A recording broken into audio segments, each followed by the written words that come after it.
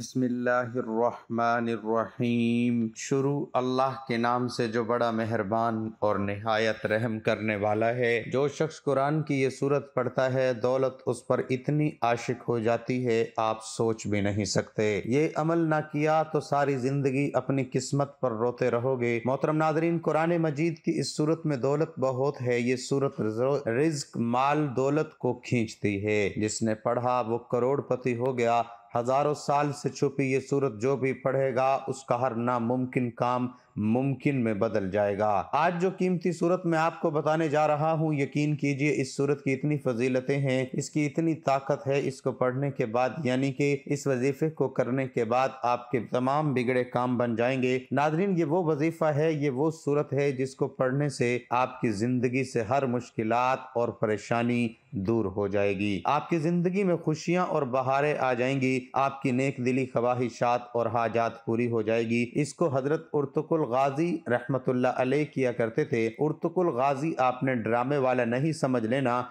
जो असल में उर्तकुल गाजी था। अक्सर ऐसा होता है, जो पहले ज़माने गुजरे होते हैं, जो पहले जंगे हुई होती हैं, या पहले कोई बड़ी शख्सियात गुजरी होती हैं, उनके ऊपर ड्रामे और फ़िल्में लिखी जाती हैं। इसी तरह उर्तकुल गाजी वो शख्सियत थे जिन्होंने किसी भी जंग में शिकस्त नहीं खाई। हमेशा कामयाबी ही मिली। वो ये वजीफ़ा किया करते थे जो आज मैं आपको बताने जा रहा हूँ। अब सवाल ये है कि मुझे कैसे पता चला कि हज़रत उर्तकुल गाजी रहमत ये वजीफ़ा किया करते थे? वो ये सूरत पढ़ा करते थे।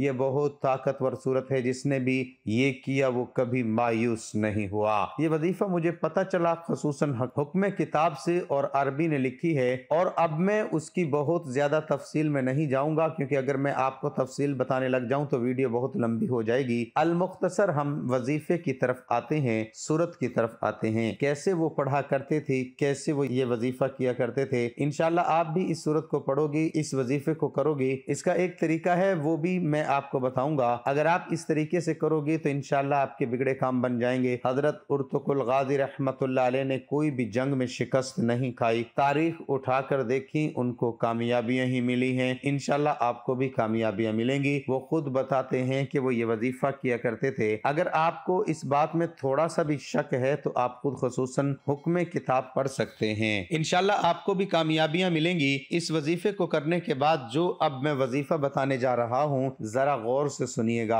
आपके जहन में कुछ शक न रहे तो मैं छोटी छोटी चीज़ें भी आपको बताना चाहूँगा कि इस वजीफे को किस वक्त कर सकते हैं। इस वजीफे को वैसे तो आप किसी भी वक्त कर सकते हैं, लेकिन अगर आप फजर की नमाज़ के बाद कर लो तो ज़्यादा बेहतर होगा, क्योंकि ये खास वजीफा है, ये खास दुआ है क्योंकि जब आप नमाज़ के बाद करोगे, उस वक़्त आपका वज़ू भी होगा। आपने ज़िक्र अजकार भी किया होगा।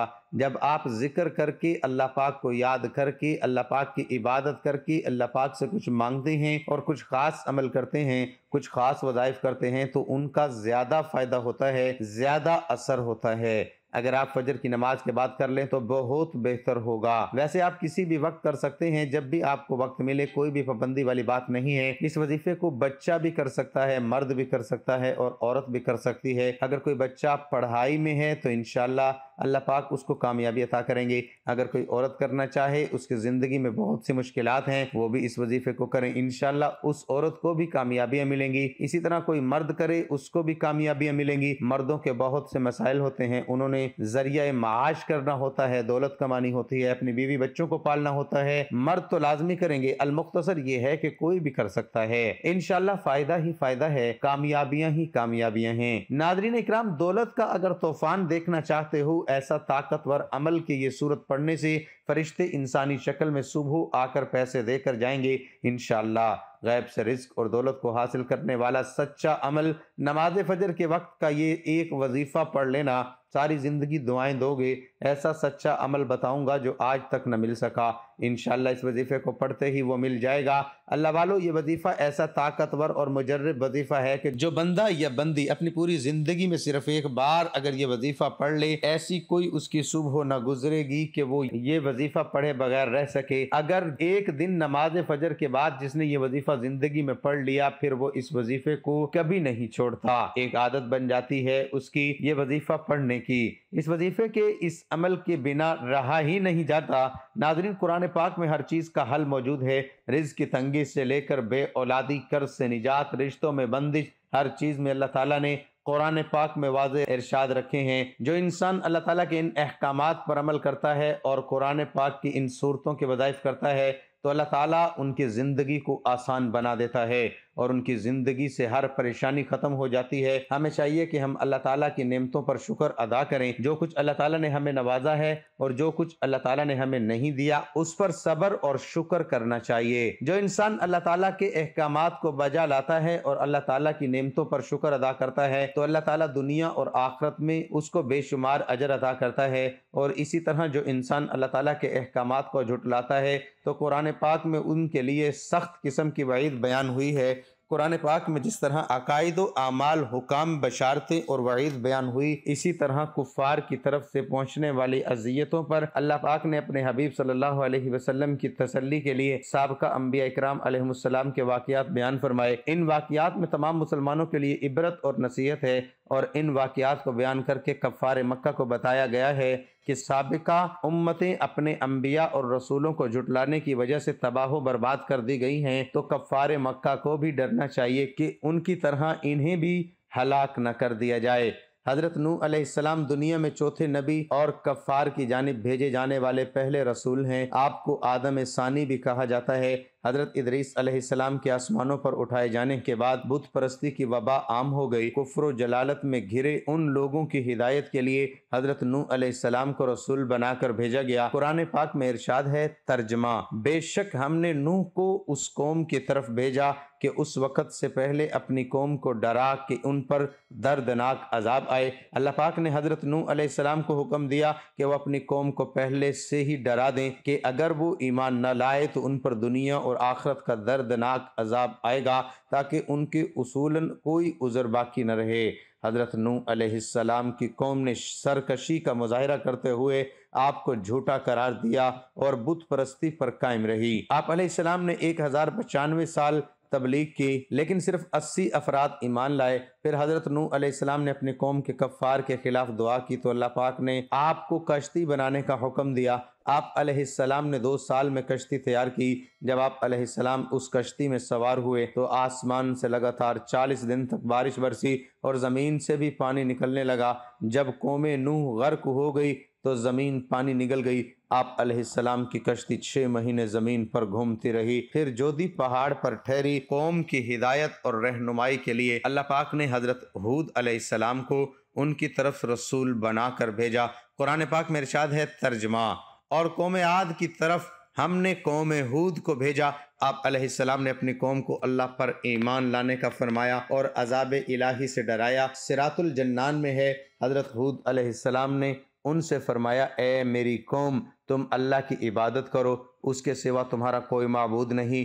हज़रत हूद अलैहिस्सलाम की दावत हक सुनकर कौम के सरदारों ने कहा, तुम सरासर हमाकत का शिकार लगते हो। ये कौम बहुत ताकतवर थी। जब इन्हें अजाब इलाही से डराया गया तो उन्होंने कहा कि अगर अजाब आया तो हम अपनी ताकत से हटा सकते हैं। और कहा, अगर तुम सच्चे हो तो हम पर वो अजाब ले आओ। फिर उन पर तंदो तेज आंधी की सूरत में अजाब आया। ये आंधी सात रातें और आठ दिन लगातार चलती रही। यहाँ तक कि ये कौम निशान इबरत बन गई। कुफ्र शिरक में डूबी हुई कौम कौम समूद की असलाह के लिए अल्लाह पाक ने हज़रत साल को रसूल बनाकर भेजा और कौम समूद की तरफ़ हमने कौम साले को भेजा। हज़रत साल ने फरमाया, ए मेरी कौम, अल्लाह की इबादत करो, उसके सिवा तुम्हारा कोई मबूद नहीं। सीरतुलम्बिया किताब में है, आप अलैहिस्सलाम ने कौम समूद को अल्लाह पाक की नेमतें याद दिलाकर भी समझाया कि अपने ऊपर खुदा की नेमतों की फरावानी देखो और अपना अमल देखो। लिहाजा अतात का रास्ता इख्तियार करो। उनके मुतालबे पर हज़रत साल ने पहाड़ से ऊँटनी पैदा करने का मुआवजा भी दिखाया लेकिन वो लोग ईमान न लाए और ऊँटनी को कत्ल कर दिया। हज़रत साल ने उनको अजाब इलाही से भी डराया। अजाब इलाही की बात सुनकर कौम ने कहा अगर तुम वाकई रसूल हो तो वो अजाब ले आओ जिससे हमें डराते हो। फिर एक गुरूह ने हज़रत साल को शहीद करने की कोशिश की। वो अजाब इलाही में गिरफ़्तार हुए और वो कौम शदीद जलजले से हलाक कर दी गई। अल्लाह पाक के वो बंदे जो अल्लाह पाक की बारगाह में सबसे ज़्यादा मकबूल और महबूब हैं, यानी अम्बिया कराम अलैहिस्सलाम उनकी मुबारक ज़ातों को लें तो उनकी ज़िंदगियों का सबसे बुनियादी मकसद ही ये था कि अल्लाह पाक के काम और नेकी की दावत लोगों तक पहुँचाए।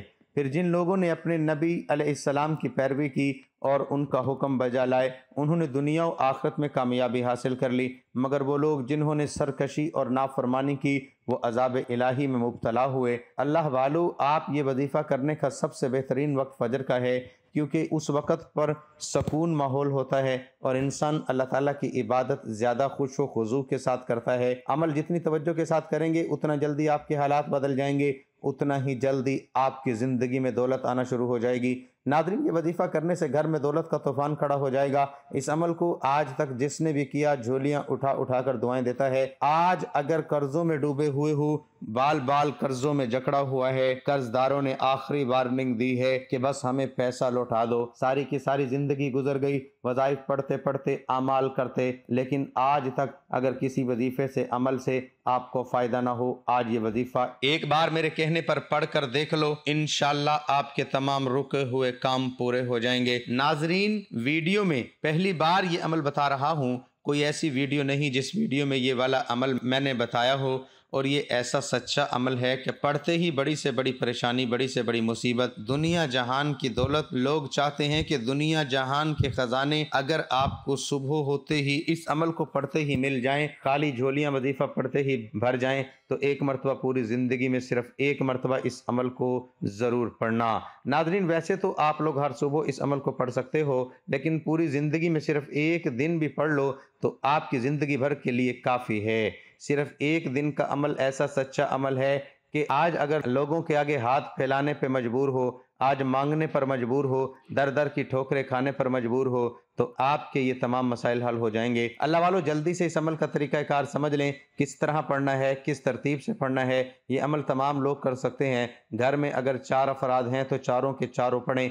ऐसा भी कर सकते हैं, फजर की नमाज़ तो अक्सर लोग पढ़ते हैं। एक दिन किसी एक बंदे ने किया और चाहे तो घर का एक फर्द भी पढ़ ले तो काफ़ी है। नादरीन, एक एक बात, एक एक लफ्ज़ समझाना मेरा काम है। अमल को पहले समझना और समझ कर करोगे, दौलत संभाल नहीं पाओगे। अमल को समझोगे नहीं, जल्दी से भागते जाओगे, स्किप करते जाओगे तो कुछ समझ में ना आएगा। अच्छी तरह समझना छोटा सा अमल है, पंद्रह से बीस सेकंड लगेंगे। अपने लिए न सही, अपने बच्चों के मुस्तकबिल के लिए एक मरतबा। इस अमल को भी पढ़ लेना। मुआवजा अपनी आँखों से सुबह होते ही देख लेना। सुबह होते ही ज़िंदगी में वो तब्दीली होगी कि जो लोग आज आपको धुतकार रहे हैं, आज आपकी गरीबी का मज़ाक बना रहे हैं, वही लोग आपको इस अमल को पढ़ते ही कंधों पे उठा लेंगे। इस अमल को पढ़ने के बाद आपकी इज़्ज़त भी होगी, आपका रुतबा भी होगा, आपका मकाम भी होगा और पैसा दौलत ऐसी जगह से आपको ढूंढते हुए आएगा। रिज्क खुद चलकर आपके पास आएगा। आज तो आप लोग पैसों के लिए,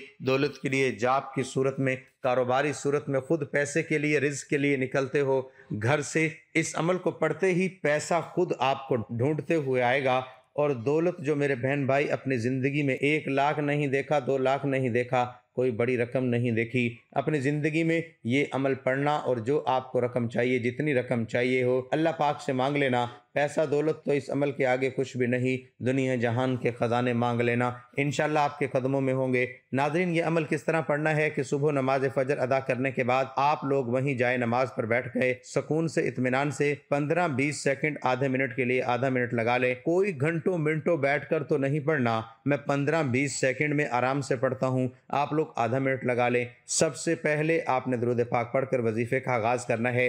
दरुद पाक आप कोई सा भी पढ़ सकते हैं, लेकिन दरुद इब्राहिमी सबसे ज़्यादा ताकतवर दरुद पाक है। इसलिए कोशिश करें कि कोई भी वजीफ़ा या दुआ शुरू करने से पहले दरुद इब्राहिमी पढ़ लिया करें। एक बार मेरे साथ भी दोहरा लें। अल्लाह मोहम्मद कमा इब्राहिम इब्राहिम इन्नक हमीदुम मजीद। अल्लाहुम्म बारिक अला मुहम्मद वाला आली मोहम्मद कमा बारकत अला इब्राहिम वाला आल इब्राहिम इन्नक हमीदुम मजीद अब सबसे पहला जो आपको काम करना है, अमल शुरू करने से पहले फौरी तौर पर आउजुबिल्लाजीम बिस्मिल्लाहिर्रहमानिर्रहीम पढ़कर इस अमल का आगाज़ कर देना है। जैसे ही पढ़ लें अगर आपके पास तस्बी मौजूद हो, अपने हाथों में तस्बी पकड़ लें। ना हो तो कोई बात नहीं, अपने सीधे हाथ पर गिनती करते हुए पढ़ना शुरू कर दें या ज़बानी गिनती कर लें। जैसे बेहतर लगे, वैसे वज़ाइफ पढ़ना शुरू कर दें। तीन वज़ाइफ पर मुश्तमिल ये पूरा अमल है। ये अमल आप लोगों के लिए दिन का एक बिल्कुल नया तरोताज़ा खिलते हुए गुलाब की तरह है, जिसको सुबह के वक्त पढ़ना है। अपनी बताई हुई तरतीब जिस तरीके से बताऊँगा उस तरीके से और उस तादाद में पढ़ोगे तो ये अमल आपके लिए बिल्कुल नया अमल बन जाएगा। अमल को शुरू करने से पहले ताउज़ और तस्मिया पढ़ के इस अमल का आगाज़ करना है। जब पढ़ लें फौरी तौर पर, इसी अमल के अंदर आपको पहला वजीफ़ा शामिल कर देना है और एक चीज़ अपने जहन में बिठा लीजिएगा। पूरा का पूरा अमल एक ही वक्त में, एक ही जगह पर बैठ कर करना है। चाहे बिस्तर पर लेट कर पढ़ें, चाहे जाए नमाज़ पर बैठ कर पढ़ें, जैसे पढ़ें, एक ही वक्त में, एक ही जगह पर बैठ कर पढ़ना है। पहला ख़ास वजीफ़ा पढ़ने का तरीका समझ लें, किस तरह पढ़ना है। सबसे पहले एक बार पढ़िएगा, अल्लाहुस्समद, फिर दूसरी बार, अल्लाहुस्समद, फिर तीसरी बार, अल्लाहुस्समद। इसी तरह आपको अल्लाहुस्समद पढ़ना है। पहला वजीफ़ा आप अपने अंदाज में पढ़ें, अल्लाहुस्समद। अल्लाहमद का वजीफ़ा आप लोगों को सिर्फ़ और सिर्फ़ ग्यारह बार पढ़ना है। जब ग्यारह मरतबा ये वजीफ़ा आप लोग पढ़ लें, ये पंद्रह बीस सेकेंड का अमल तो आपकी ज़िंदगी में क़यामत तक के लिए काफ़ी है। सारी ज़िंदगी किसी के आगे अगर हाथ फैलाना पड़ जाए, इस वजीफ़े के बाद तो फिर मुझे बताना, ऐसा दस्ते गैब का अमल है कि लाखों करोड़ों लोग इस अमल को जिसके हाथ ये राज लग जाता है, जिसके हाथ ये वजीफ़ा लग जाता है और ये समझ लें, जिस घर में ये वजीफ़ा पढ़ा जाता है, उस घर का बच्चा बच्चा सुबह होते ही करोड़पति बन जाता है।